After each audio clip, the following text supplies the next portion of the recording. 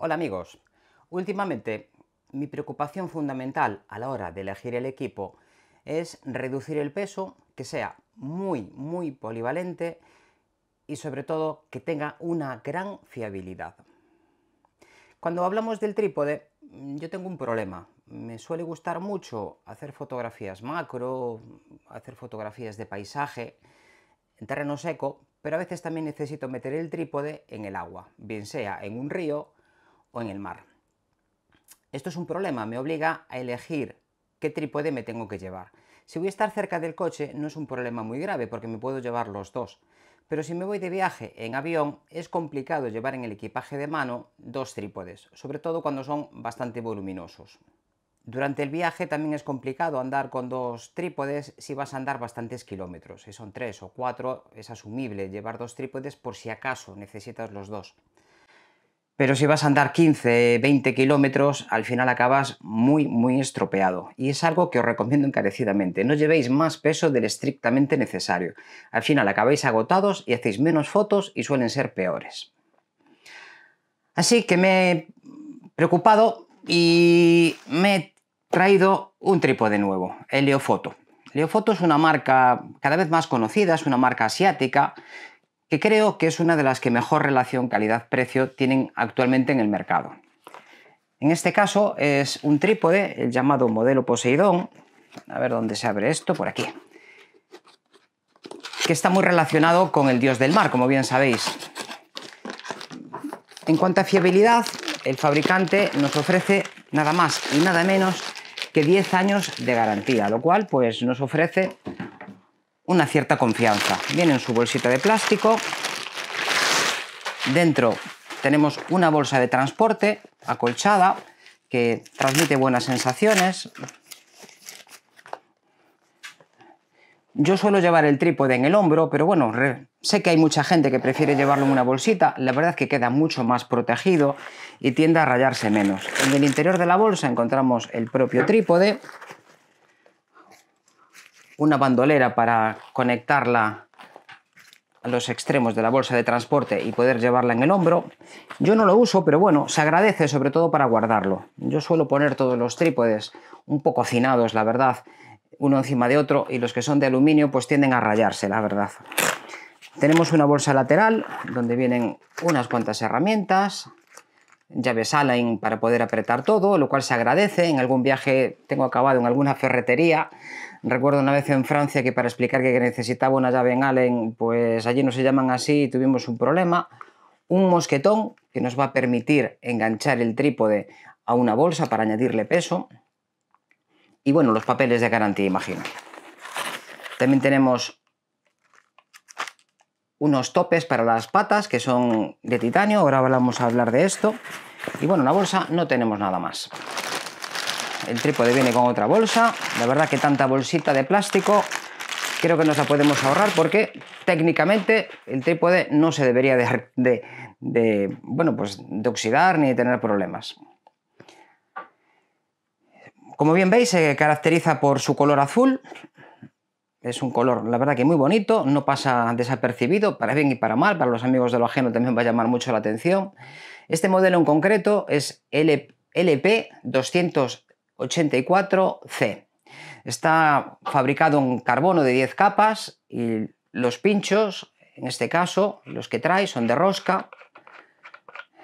Es una mezcla de silicona que nos permite que agarre mejor en el ambiente marino al que está destinado. Los, lo que son las roscas son de titanio, lo cual garantiza que, bueno, pues que duren mucho. Lleva una junta tórica en la parte inferior que permite que no entre agua por ahí, está bien pensado. Las roscas, la verdad que están muy bien mecanizadas, van muy bien. Cuando llega esa junta tórica se nota que aprieta más. Tiene cuatro secciones, tres, tres roscas para poder expandirlas, por lo tanto, las secciones tienen unos diámetros en los tubos, el más grueso de 28 milímetros, es bastante, bastante gordito, y el más fino tiene 19. Los intermedios son de 25 y de 22, vamos, que es bastante resistente, que va a aguantarnos bastante el peso. De hecho, soporta hasta 10 kilos según el fabricante. Una cámara normal puede ser 800 gramos, 700 gramos, las más pesadas, un kilo como mucho, y aunque le pongas un objetivo pesadito son 3-4 kilos. Es decir, que debería de resistir perfectamente con un 302,8, incluso con un 500 F4. La altura máxima extendido es de 1 metro 290 milímetros, 1 metro 30 redondeando, más los 10 o 12 de la rótula, pues nos quedan en un metro 40, un metro 45. Para mí, que mido unos 65, pues es una altura bastante cómoda, sobre todo porque últimamente casi siempre fotografío mucho más bajo, a ras de suelo. Y en esto me viene muy bien porque las patas tienen tres posiciones y una de ellas es a 90 grados, con lo cual puedo fotografiar prácticamente a ras de suelo, salvo lo que suba la rótula. Así plegado son 540 milímetros que me cabe perfectamente en una maleta, incluso en las pequeñitas que nos deja llevar en cabina Ryanair. El peso son 1 kilo 140 gramos, es, la verdad que es muy muy liviano. Es lo que andaba buscando, un trípode ligero y que me permita meterlo en cualquier lado. La gran ventaja de este trípode está en las roscas. Estos casquillos son de titanio, con unas gomas que nos permiten el agarre aunque estemos con las manos húmedas o con guantes, la verdad es que son muy cómodos. Son de titanio y también llevan un sistema estanco para evitar que el agua se cuele por las patas y acabe en las roscas. El problema de meter un trípode normal con roscas es que a medida que va entrando el agua se va colando por las roscas, se va mezclando con la grasa que tenemos ahí y se acaban montando unos auténticos líos que después van muy mal, las patas no se mueven bien, entonces siempre que metía un trípode de carbono en el agua, un trípode de carbono o de aluminio que lleve también este sistema de roscas, si son de palanca no son tan sensibles, porque mm, son menos delicados en cuanto al agua. Por eso el que utilizaba yo para meter en el mar era un Manfrotto 055 de aluminio, de los primeros que llevaban palanca, llegaba a casa, aquí cerquita tenemos una fuente, lo metía allí, lo fregaba un poco y ahí a pasar el tiempo. Pero cuando llevaba el de carbono y me sorprendía alguna cosa interesante que me tenía que meter al río, y lo primero es la posición del trípode, donde si toca meterse en el río, pues no, yo me meto. Entonces llegaba a casa, tenía que desmontar todo, tenía que secarlo muy bien, limpiarlo todo con, con, diferente material, que si queréis un día hablamos de esto y me lo contáis en los comentarios, si queréis saber cómo se limpia un trípode, lo hablamos. Y entonces esto te obligaba a, a parar para limpiar nada más llegar a casa. Si estás de viaje, la cosa se complica mucho, porque si te pones a desmontar un trípode, sobre todo algunos, puede que montarlos no sea tan fácil. Y si te pones a desmontarlo y descubres que después no entra o que te ha quedado algo mal o que se te ha roto una de las pequeñas piececitas de teflón que lleva por dentro eh, y no tienes otro trípode, has estropeado el viaje. Con lo cual, o acabas con un trípode que va o te arriesgas.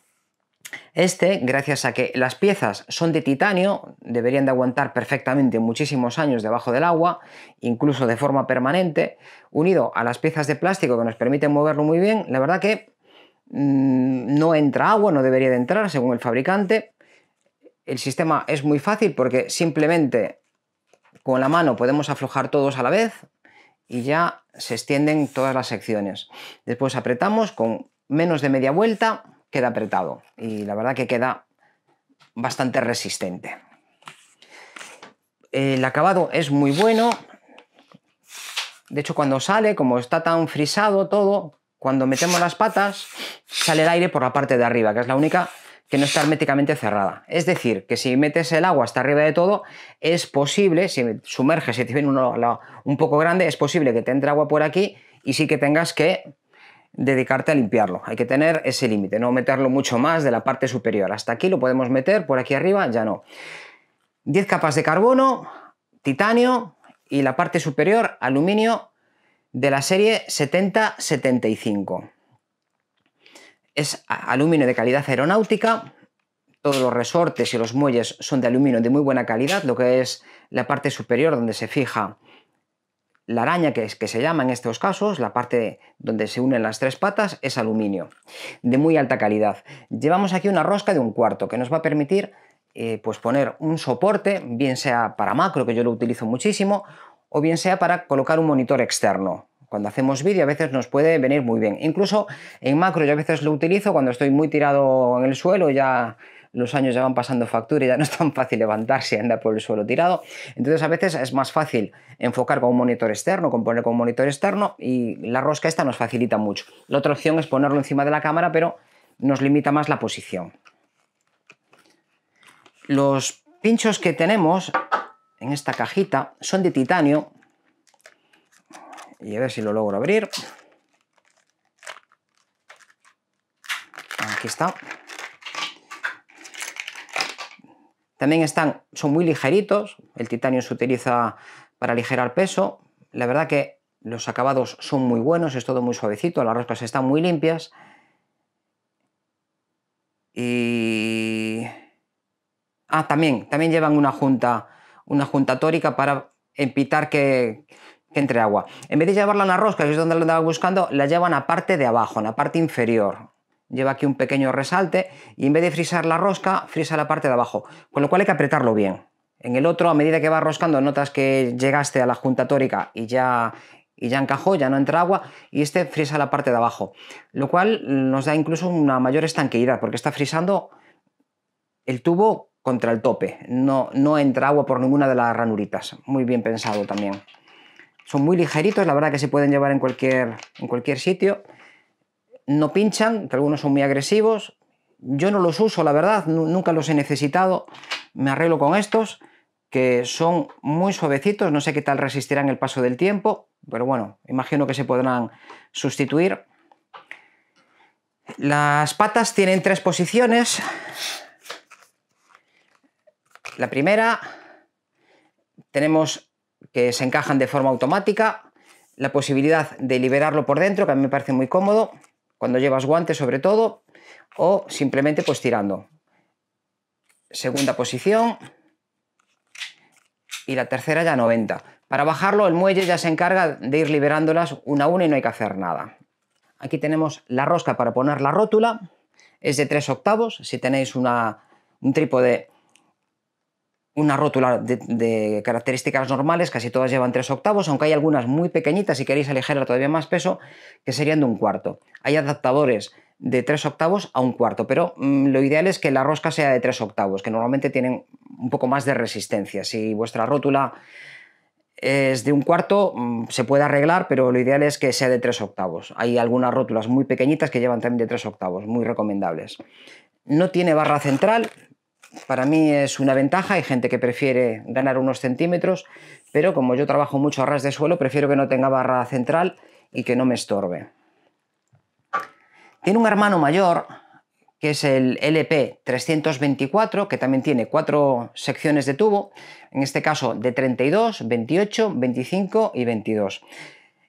El hermano mayor tendría 32 milímetros, este tiene 28, es decir, 4 milímetros menos, y la más pequeña en vez de tener 19, en este caso, tendría 22. Es decir, que todo el peso se incrementa. En vez de pesar un kilo 140 como este, pasamos a un kilo 420, casi 300 gramos más.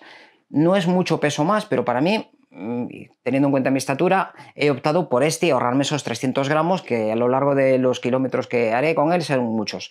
El hermano mayor, el 324, en vez de 540 milímetros plegado, tiene 580, son 4 centímetros más que también nos cabrían en una maleta normal y a la hora de llevarlo tampoco se va a notar mucho la diferencia.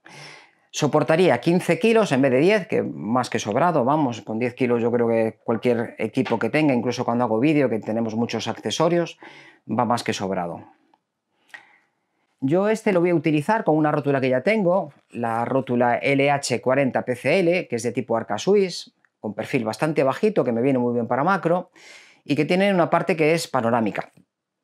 No os la enseño porque, bueno, la veremos más adelante, pero ya le he comentado en otro vídeo, si tenéis curiosidad, pues lo podéis ver en mi canal de YouTube. La sensación que tiene el trípode es, la verdad es que es muy, muy sólido, es una calidad que justifica sobradamente el precio que tiene. No es un trípode barato, pero creo que es un trípode que me va a acompañar durante muchísimo tiempo y que le puedo hacer casi cualquier cosa. No tengo que preocuparme si lo meto en el agua, si está lloviendo, si lleva un golpe. Creo que va a aguantar mucho las torsiones. Una de las cosas que hacemos los fotógrafos de naturaleza es enterrarlo en la nieve o enterrarlo en, la arena para aguantar estabilidad.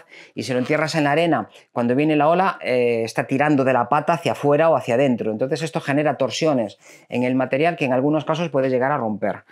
Yo creo que este aguantará sobradamente. Si rompe en algún momento también os lo haré saber. Creo que me ayudará a disfrutar mucho de la fotografía en la costa y en los ríos, me aliviará mucho la espalda a la hora de transportarlo. Y creo que por ahora la primera impresión, nada más llegado a casa, creo que es muy positiva. Pero vamos a ver cómo se comporta por ahí fuera. Vamos allá.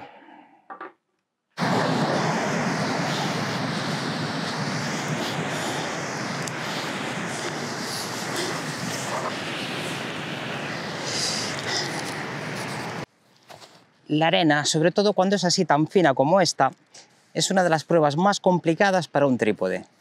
Tienden a colarse en el medio de las roscas y si llega a acceder a lo que es el filete de la rosca, acaba convirtiéndose junto con la grasa en una auténtica lima. Parece una lija que va corroyendo absolutamente todo el mecanismo. Por eso es muy importante, siempre que utilicemos un trípode normal, limpiar todo después del uso. Así que vamos a probar qué tal se comporta este trípode en un ambiente tan hostil. Pues necesito un ángulo muy bajito para hacer la foto un poco desde abajo, así que vamos a empezar quitando la funda. Siempre llevo mis rótulas con una funda. Últimamente a los fabricantes les ha dado por no incluirlas, una pena, pero protege bastante. Son fáciles de conseguir en AliExpress o eBay o en Amazon, cualquier lado. Estas de neopreno.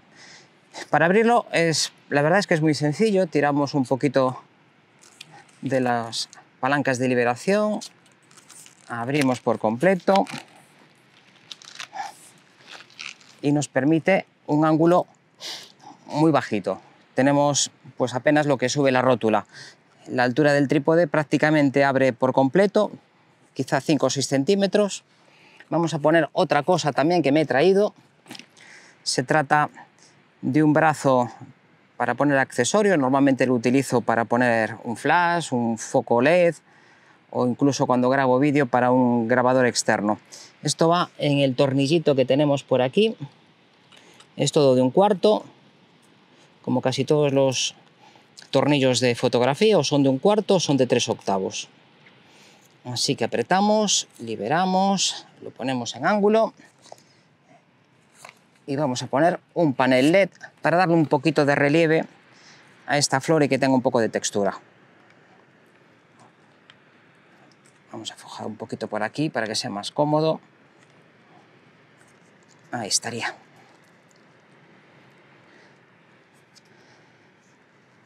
Ya está apretado. Ahora lo colocamos en posición, más o menos a 45 grados, por ahí. Un poquito más abajo. Ahí. Creo que ahí empezará bien.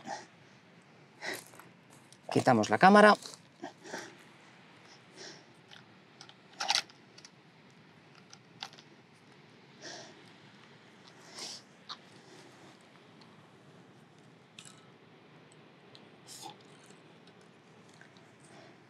Esta rótula ya la tenía, es una rótula que vino con otro trípode que ya tengo de Leofoto también. Poseidón tiene una rótula específica que también está en color azul, pero que no es estanca no es resistente ni al agua, ni a la arena, ni nada de esto.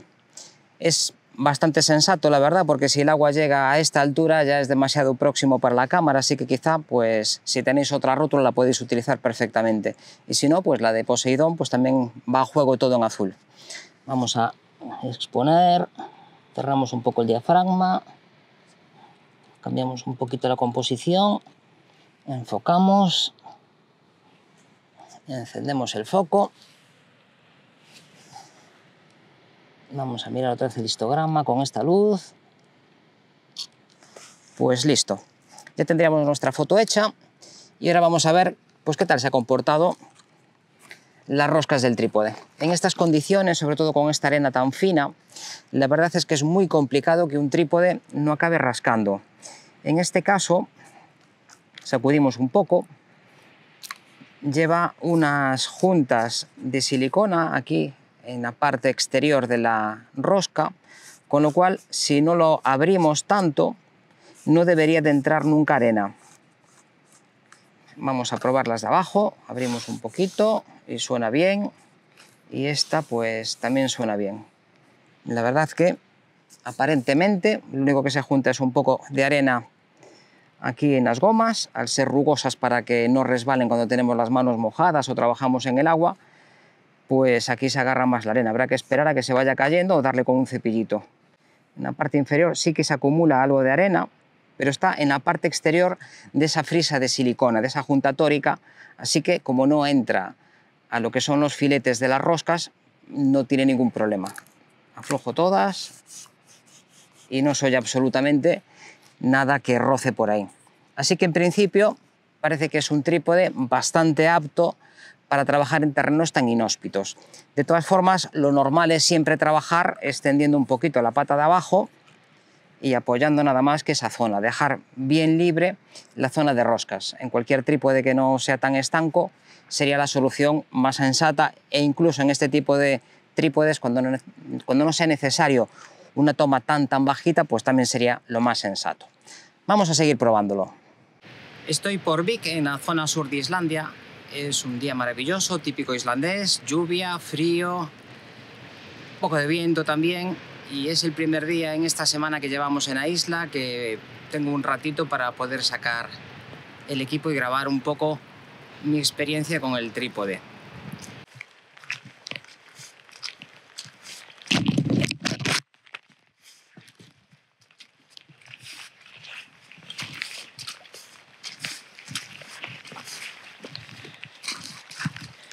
La verdad que cuando viajo a un sitio donde normalmente no voy a ir en mucho tiempo, me aseguro mucho del material que voy a llevar.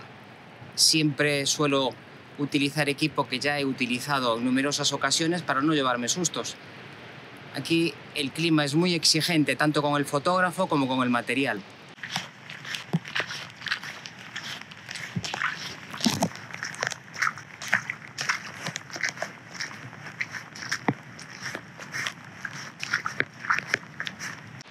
Seguramente no sea el mejor lugar para que el trípode te deje tirado. Por eso mm, le di muchas vueltas a traerme alguno de los que ya tenía o apostar por traerme un trípode que seguramente me pudiera resolver bastantes más problemas. Al final, afortunadamente, me he decidido por traer el nuevo trípode de Leofoto, el Poseidón, y creo que ha sido una decisión fantástica.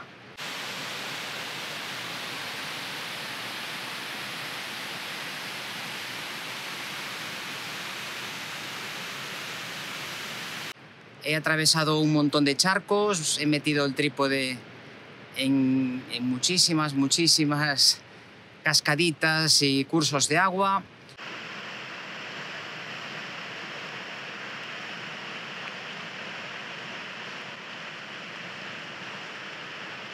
También he estado utilizándolo a ras de suelo para conseguir pues, tomas más bajitas de algunas cascadas.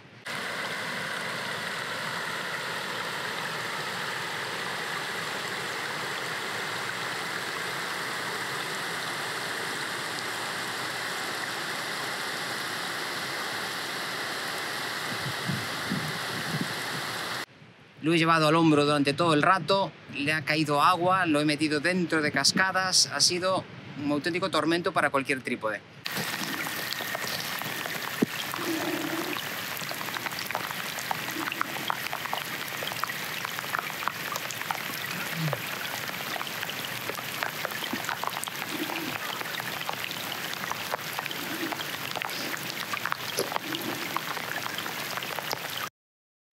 Y en todo momento ha ido muy suave, muy bien. Un trípode normal como los que tengo de carbono, de aluminio ya no me lo planteo traer porque estamos caminando bastante y la verdad es que pesa demasiado como para llevar este ritmo. Un trípode de aluminio no me lo planteo. Así que uno de carbono normal, que no se estanco al agua, todos los días al llegar al hotel tendría que desmontarlo, secarlo bien y volver a montarlo.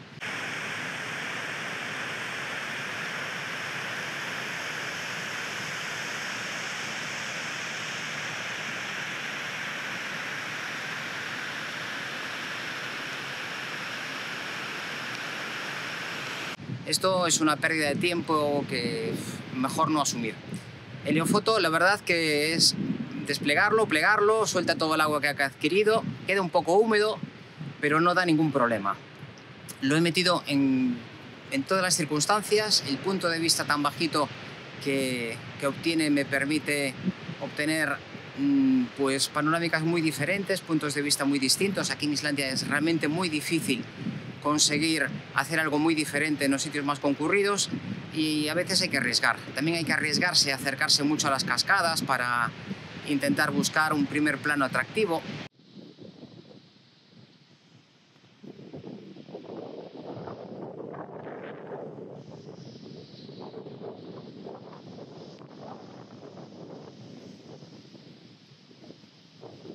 Así que mi experiencia es mm, muy recomendable. Creo que es un trípode que puede irle bien a todo el mundo. Os enseño un poquito ahí estos panoramas tan, tan guapos. La verdad que siempre vale la pena venir a Islandia, aunque te pases una semanita de lluvia secando todo el material y empapando. Aún encima, decía antes que el material es muy exigente, uno de los Goretex que me traje rompió, rompieron las, con el viento rompieron un par de costuras y menos mal que me traía otro, pero con el trípode no te puedes traer dos trípodes, así que mejor asegurarte de que el que te traes no te va a dejar tirado.